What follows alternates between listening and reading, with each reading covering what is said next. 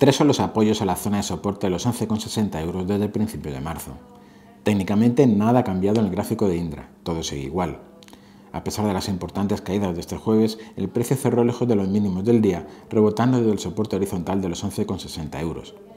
De perforarse este, que no parece el escenario más probable, no descartamos que el precio acelere las caídas hacia el hueco bajista, por definición soporte, que presenta en el entorno de los 11 euros, y por debajo la base del canal. Pero todos son potenciales escenarios correctivos que no se activarán en la medida en que el soporte antes mencionado no se perfore. Por el lado de las resistencias tenemos los máximos anuales en los 12.45 y por encima ya no se observarían resistencias importantes hasta los máximos de 2014 en los 14,65 euros.